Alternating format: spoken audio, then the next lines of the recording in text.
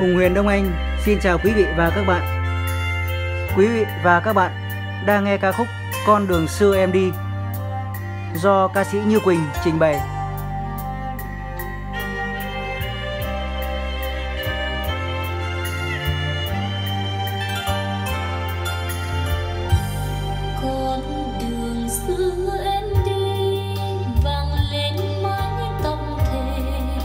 Giọng ca vàng Như Quỳnh đang được tái tạo lại một cách xuất sắc bởi cặp loa bốt 10.2 CD2 kết hợp với chiếc âm ni đàn ông 890D.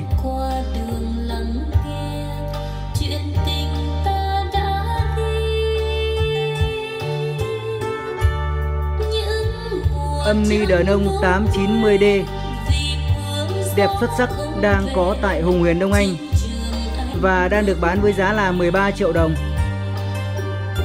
Âm ly này có công suất là 216W. Nó có thể dùng điện 120V hoặc 220V. Đặc biệt, âm ly 890D có tích hợp cổng DAC để giải mã tín hiệu từ thiết bị mạng hoặc từ TV. Đây là một model được bán rất chạy trên thị trường hiện nay Quý vị có nhu cầu tìm mua âm ly đàn ông 890D và các thiết bị âm thanh cao cấp khác, xin mời đến Hùng Huyền Đông Anh tại địa chỉ góc ngã tư thị trấn Đông Anh, Hà Nội, bên cạnh cổng công an huyện Đông Anh. Điện thoại 0984 285 477.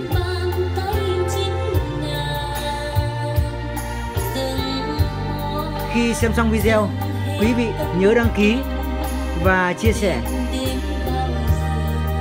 để anh em yêu nhạc trên toàn quốc được biết đến. Xin cảm ơn quý vị và các bạn.